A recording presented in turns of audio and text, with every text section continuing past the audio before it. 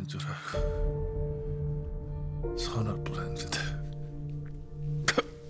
말, 말하지 마. 아, 저, 조금만 참아 고급지고 놀 거니까. 그러니까.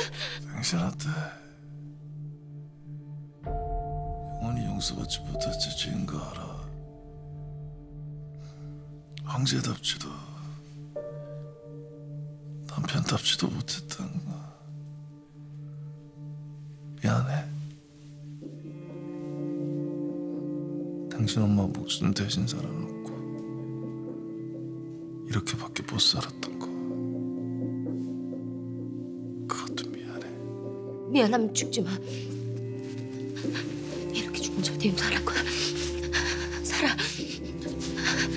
살아서 빌어. 두고두고 죄값 빌면서 제대로 용서받아. 이렇게 죽으면 안 돼.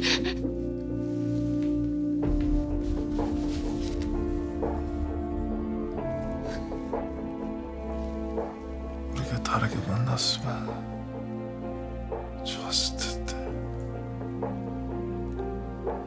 평범한 사람을 만났으면 이렇게까지 상처 주지 않았을 텐데.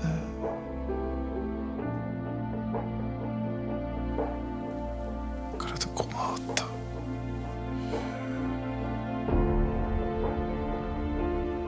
나 같은 놈이랑 결혼해줘서